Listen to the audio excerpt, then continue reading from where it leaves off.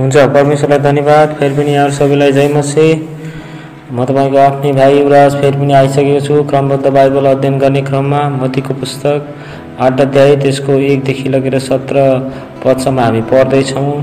आउनुहोस् यहाँ शीर्षक छ एकजना कुष्ठरोगी निको भएको भनेर आठ अध्यायको एकमा छ। उहाँ डाँडाबाट उक्लिनु भएपछि ठुलो भिड उहाँको पछि लाग्यो।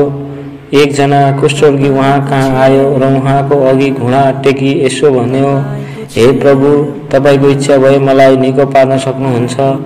उहाँले आफ्नो हात पसारेर त्यसलाई छुनुभयो र भन्नुभयो म इच्छा गर्छु तिमी निको भइजाऊ।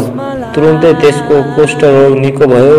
तब यसोले त्यसलाई भन्नुभयो कसैलाई नभन्नु तर जाऊ र आफूलाई पुजारी कहाँ देखाऊ र मसाले आज्ञा गरेको भेटी चढाऊ र मानिसहरूलाई प्रमाण होस्। आमेन। शीर्षक कप्तानको विश्वास। यसो कफनुमा पस्नुहुँदा एकजना कप्तान उहाँ कहाँ आएर बिन्ती गर्न लागे।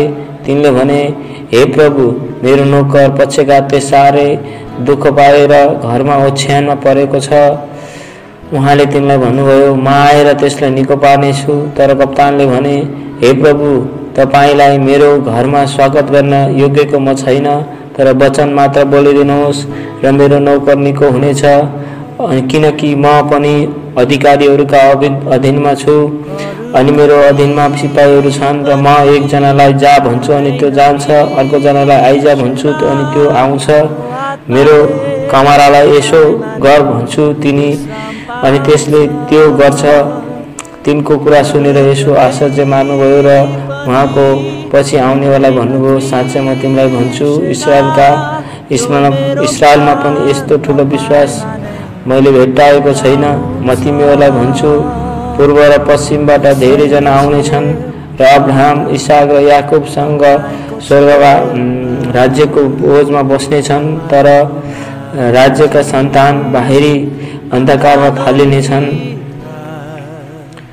त्यही त्यहाँ मानिसहरू हुनेछन् र दारा किट्नेछन् तब यसोले कप्तानलाई भन्नुभयो जाऊ जस्तो तिमीले विश्वास गरेका छौ त्यस्तै तिमीलाई होस् अनि त्यो नोकर त्यही घडी नै निको भयो। आमेन। पद चौध शीर्षक रोगीहरू निको भएका पत्रुसको घरमा आउनु यसोले तिनकी सासूलाई ज्वरोले थलिएर पस्रिरहेको देख्नुभयो। पन्ध्र उहाँले तिनको हात छुनुभयो र ज्वरोले तिनलाई छोड्यो अनि तिनी उठिन् र उहाँको सेवा गरिन्।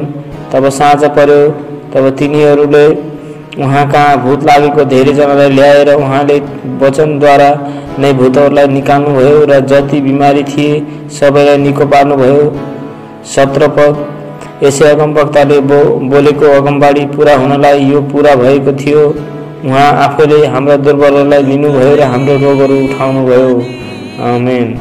पढेको वचनबाट तपाईँहरू सबैजनालाई आशिष मिलेको होस् धन्यवाद आजको क्रमबद्ध बाइबल अध्ययनलाई यो सुनेर अनि सहायता मद्दत गर्नुको त्यसको धन्यवाद दिन्छु र अझ पनि हामी अगाडि दिनहरूमा यसलाई लगातार हामी पढ्दै जानेछौँ आगामी अनि अडियो भिडियोलाई हेर्दै जानुहोला भन्दै बिदा हुन्छु हवस् त जय